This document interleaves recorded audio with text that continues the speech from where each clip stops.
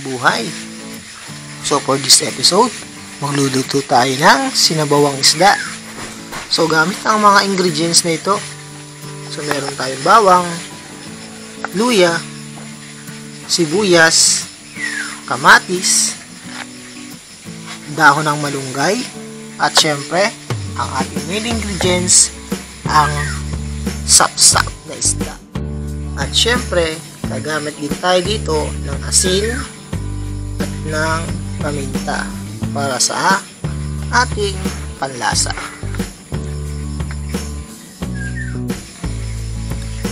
So, samahan niyo ulit ako sa paggagawa ng recipe na ito.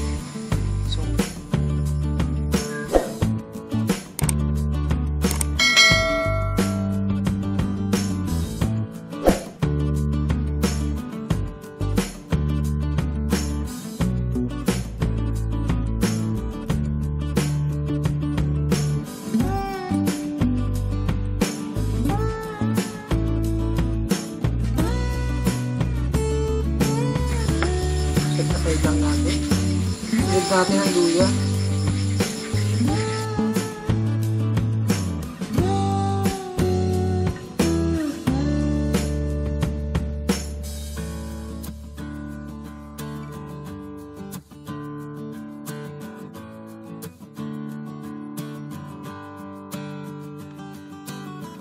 ang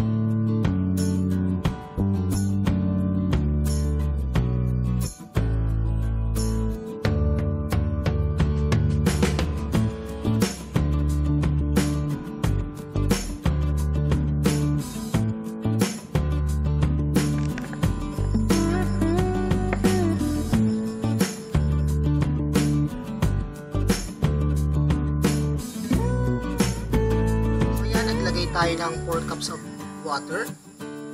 Hintay lang natin ito kumulo. And then, pagkakulo niyan, pwede natin ilagay yung ating ah, luya, bawang, sibuyas at kamatis. So sabay-sabay na sila para pag ano, ay malasa na.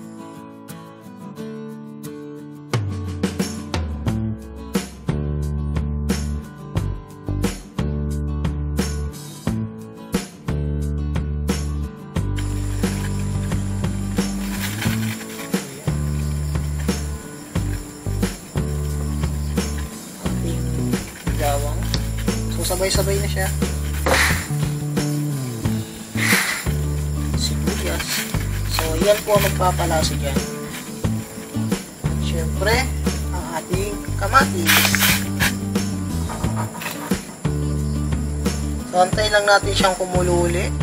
Ilagay na rin natin ang ating asin at ang ating paminta.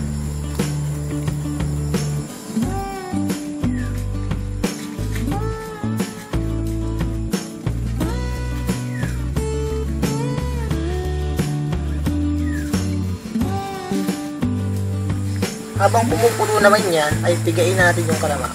Kamatis. Para mas lalo siyang lumasa. Yung asim niya mas malalasahan natin kapag ating pinirat, piniga, inipit yung ating kamatis. So, konting ingat lang kasi kumukulo yan. Dahan-dahan lang. Masamang binibigla. So, dahan-dahan bigla lang. So, sa lahat ng bagay, pag binibigla mo ay masama. Kaya, dahan-dahan lang tayo.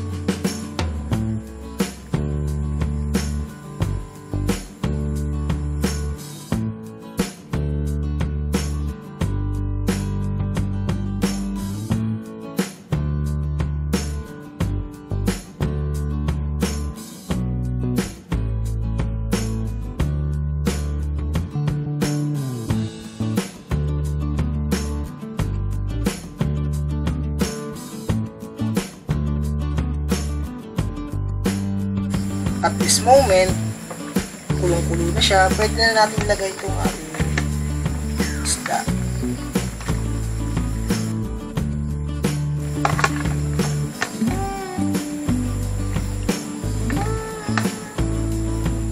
So ito, pakukuluan lang natin ng 2 to 3 minutes kasi madaling maluto yan.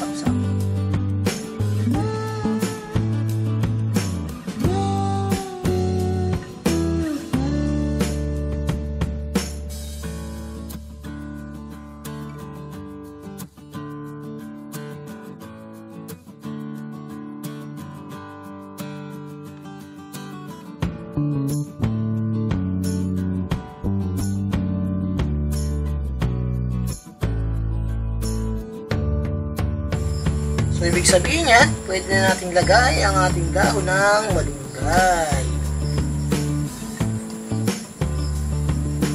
So, dito sa amin, itong dahon ng malunggay, pinipitas lang to. Kasi madami kami dito puno. Kaya, very easy lang sa amin mga. So, lagay lang natin siya. Ito, saglit lang to. Mga 1 minute na pakukuluan natin. Then, pwede na natin siyang akunin. Side lang natin. Sayang.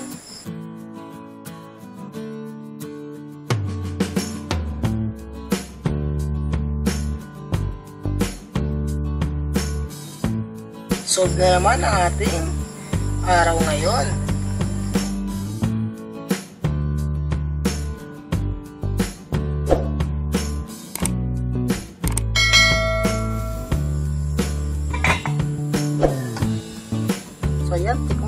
Natin kung anong lasa ng ating ilutong sapsap. Napakainit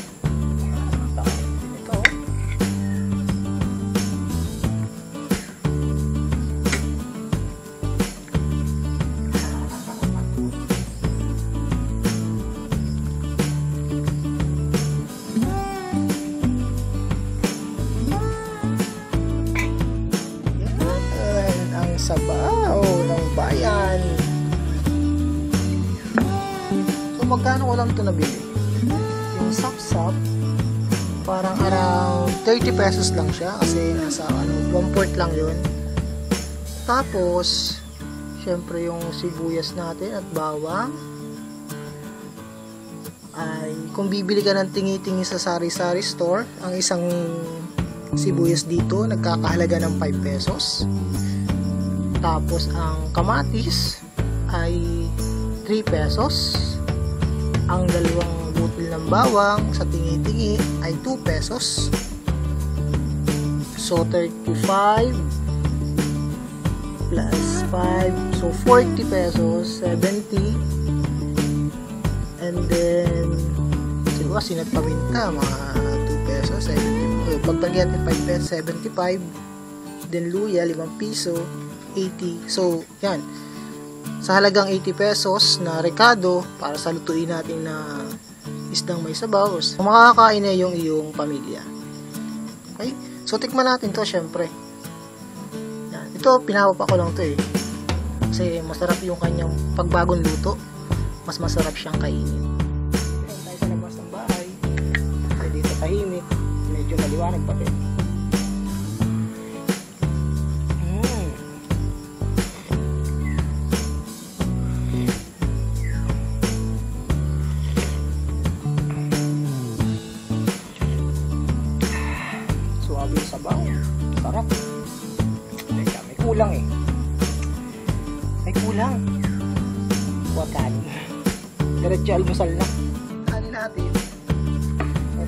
to for today. Kaya may nalit ng kanin. Ganyan lang kanin natin.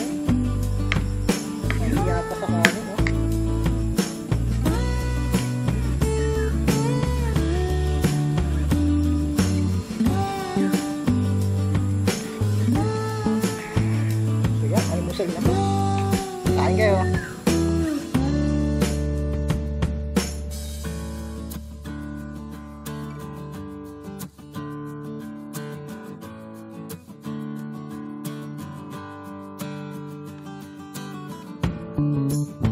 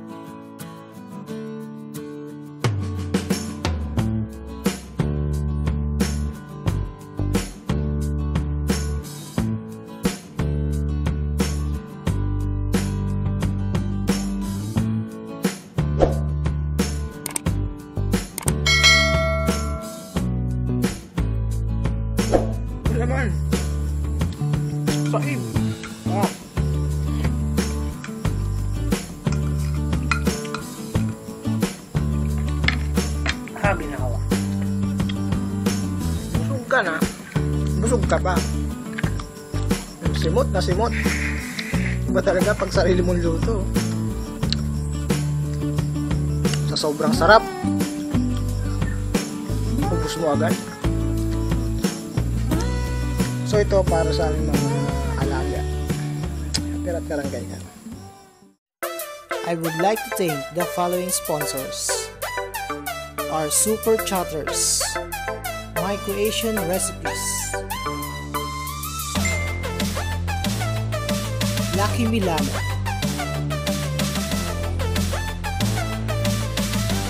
Honey Grace 247, Gina Pangit, Agri Pinoy TV,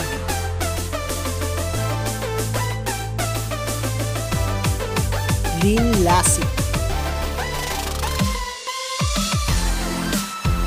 Ani Bilia,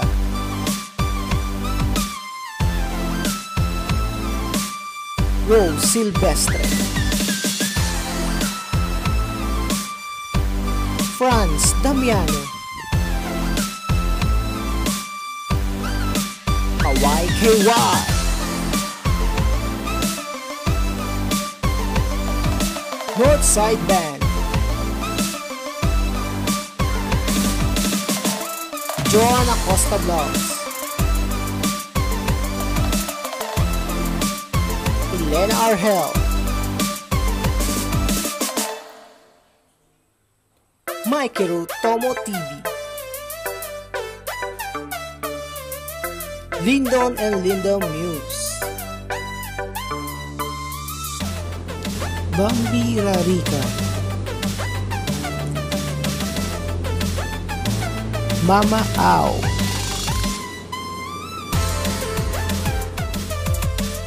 Zel Aureliano.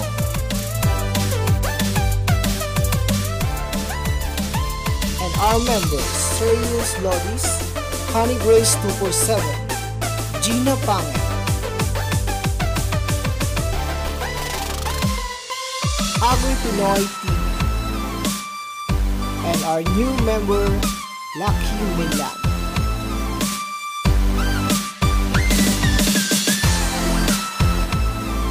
Serious regular member, Sally's Motion 23, Panlasang Probinsyano, and Serious Golden Button member, Andreas Love. Thank you very much. So, nasaksihan mo na naman ang bago nating recipe. Ang sinabawang sapsap, sinabawang isda na sapsap. And sana gawin nyo rin yun. So, magpapaalam na ulit tayo. So, lagi kong paalala. Kung hindi ka pa nakasubscribe sa channel ko, so, pagkakataon na para mag-subscribe. At i-hit mo ang notification bell para sa mga updated kong videos. Okay? Ganun lang. And kung interesado ka maging member ng aking channel, pwede ka mag-join. Mamili ka lang ng perks dyan. Madami dyan perks. Paano? Magkita-kita na lang ulit tayo sa ating kasunod na vlog. At, laging tatandaan, happy cooking,